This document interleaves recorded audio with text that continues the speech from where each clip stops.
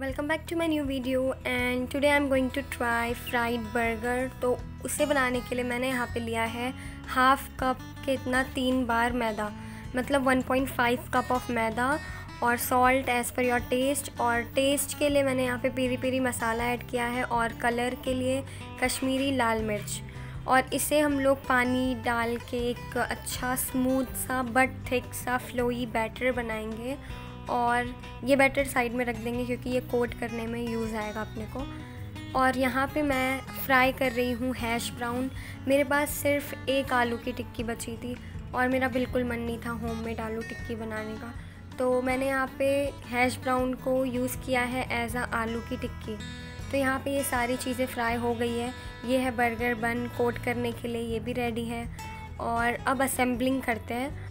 तो असेंबलिंग करने के लिए मैंने यहाँ पे लिया है बर्गर सॉस और इसे मैं अपने बर्गर के एक साइड पे बहुत अच्छे से स्प्रेड करूँगी बिना कंजूसी किए, क्योंकि इसी से टेस्ट आएगा ना अच्छा सा।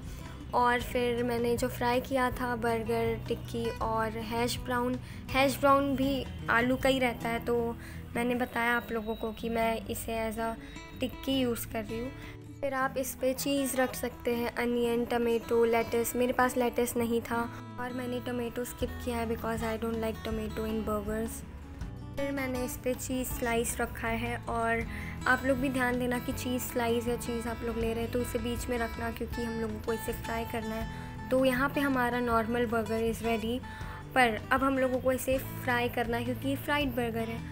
तो यहाँ पे मैंने कोटिंग, ड्राई कोटिंग के लिए लिया है मकई पोहा। आप लोग कॉर्नफ्लेक्स भी ले सकते हैं। तो मकई पोहा को मैंने एक पॉलीथीन में डाल के इसे कूट लिया है रफली। और कुरकुरे जो है, ये ऑप्शनल है, बट मुझे अच्छा लगता है। फ्लेवर भी आएगा इससे।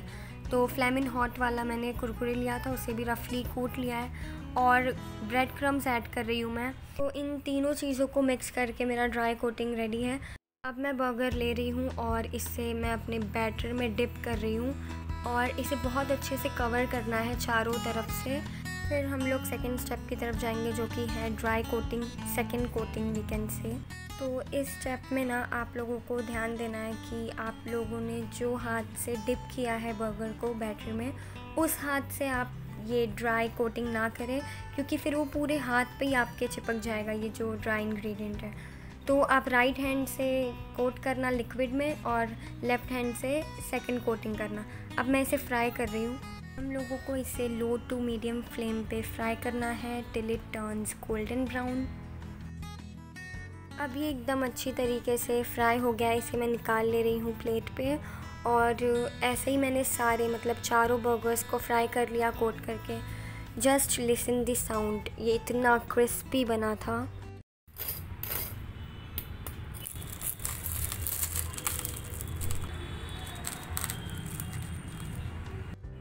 So our crispy fried burgers are ready और ये बहुत टेस्टी भी था। ये था मेरा recipe the way I make fried burgers okay bye meet in the next one like this video फिर like this recipe don't forget to subscribe